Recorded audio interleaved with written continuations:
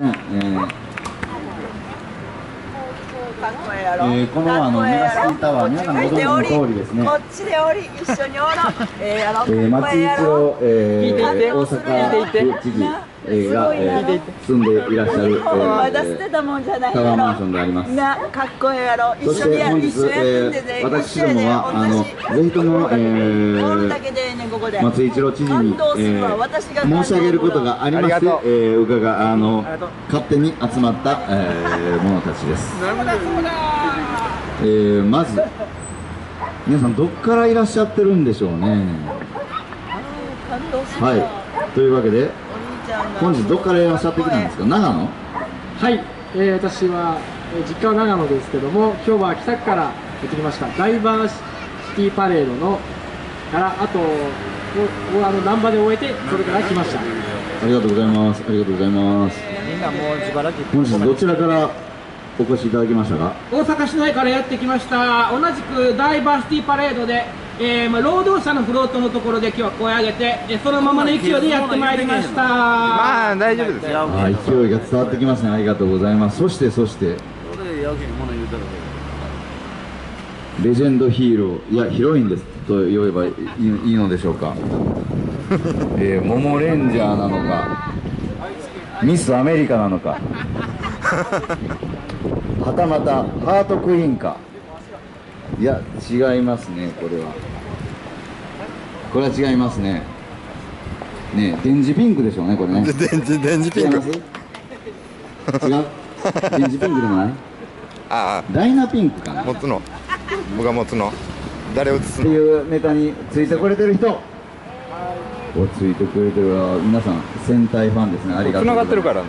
実は私あの戦隊のゴレンジャーを作ったプロデューサーが実は師匠でございまして、はい、あの今日はその選手が来ていただいてるっていうのは非常にあの嬉しい限りです。どちらからお越しいただきましたか？レンジャーさん。名古屋です。こんにちは。こんにちは。こんにち名は古屋。エビフレアの？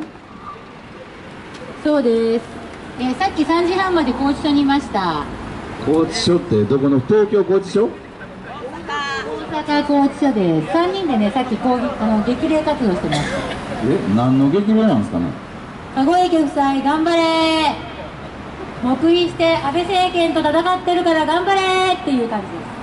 おー籠池さんねこの前そういえばあの「報道ステーション」を見てみたらねね籠池出して昭恵を入れろっていうなんかあのー、なんですか、えー、と川内宏さんとか議員さんがなんか囲みで取材を受けてる時なんかそんな声が聞こえてきたんですけどももしかしてその大阪拘置所ですか？そうです。ありがとう。タワーマンション前で抗議活動中です。頑張れ。こら松井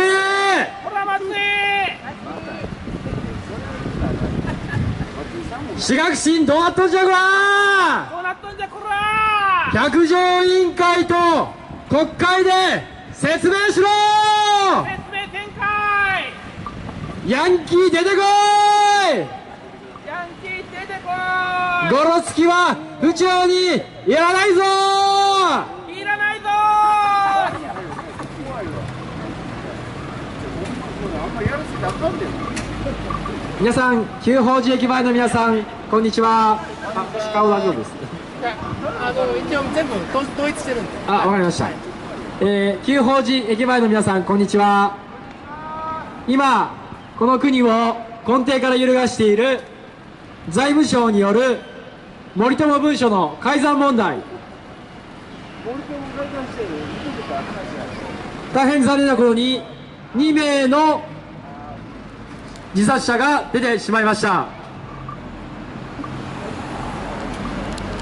この問題の首謀者の一人大阪府松井一郎知事に彼の住むタワーマンションの前で抗議活動中です。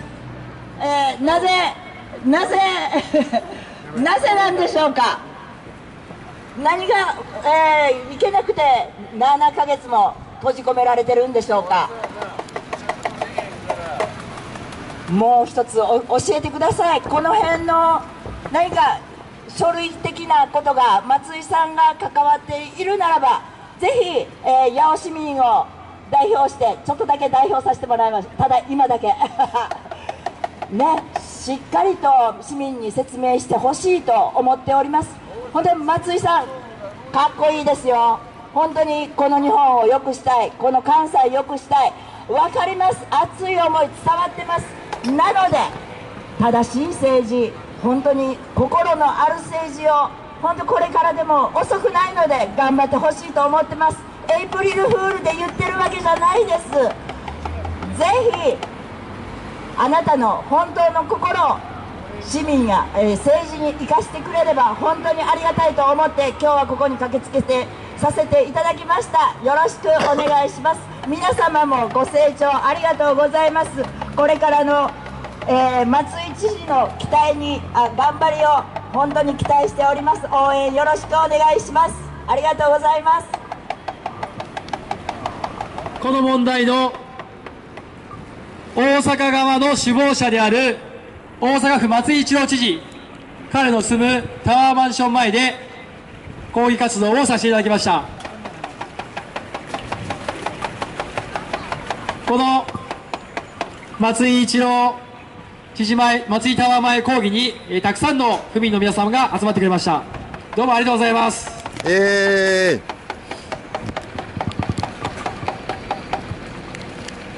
ー、えー、ではこれからも、えー、日本の各地で抗議活動が続いていくと思います。まず一番重要なのは官邸前でも私たち大阪府民も問題の発祥の地はこの大阪ですから。維新への維新がした私学心への介入森友小学校の認可がそもそもの発端ですからしっかりと大阪でも抗議活動を続けていきましょう。今有志の大阪府民が大阪府庁前に集まって連日抗議活動をしております。平日19時から20時。松井一郎は説明責任を果たせ。私学審議会にパワハラかけて無茶苦茶な認可を通すな。そして職員の皆様は頑張れ。どうか近在職員のように自殺はしないでほしい。そういう声をみんなで届けています。どうもよろしくお願いいたします。ありがとうございました。